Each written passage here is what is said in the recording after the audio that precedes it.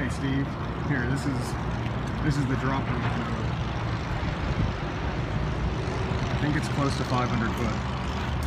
Have a good one.